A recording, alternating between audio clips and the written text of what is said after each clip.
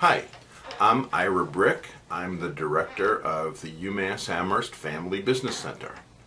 We've been here since 1994, serving family businesses, sole proprietorships, and partnerships uh, as a very practical and inspirational resource for all they require to run their business in a profitable, professional, sustainable, creative way, and also to make it much more of a pleasure uh, for their family or the people involved to be running that company.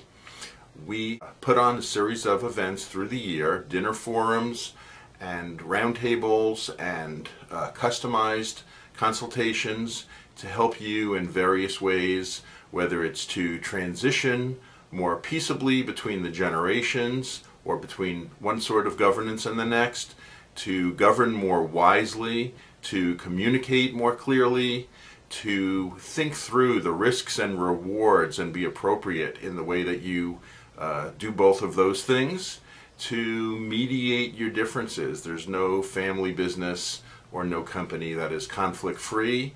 We help people figure out their differences and how to make difficult decisions together. And also just how to be thoughtful in the way that you strategize because there's no such thing as a business that is all set. You're always facing challenges in the road ahead. I'm a firm believer that there's a balance in family business. There are some that say your business should serve the family, and I don't think that's correct. I think that does a lot of harm to both, and I think that there's uh, a lot of wrong in the theory that the family should serve the business. The family is in business together for the benefit of the family, but also has an obligation to the business and all the customers of that business, whether those customers truly are customers or suppliers or the community that it serves. I think we've brought together a lot of business owners who together uh, comprise about eight to 10,000 years of collective experience and help them figure out how to help each other, how to pick each other's brains, how to figure out how to get up after you've fallen by finding that person who has done that already. And we bring a lot of experts into the room, uh, be they authors, professors, business owners, panels of experts on a certain topic to help businesses think through better. We are very proud to have our new affiliation with the Montreal-based uh, nonprofit Business Families Foundation.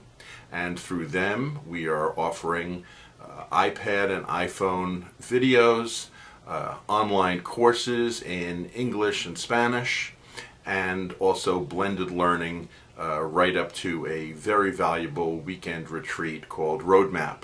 I invite you to give us a call at 413-545-4545 or to email me at ira, I-R-A, at umassfbc.com or to look at our website, umassfbc.com, to take a look and figure out if the UMass Family Business Center can be a great resource for you.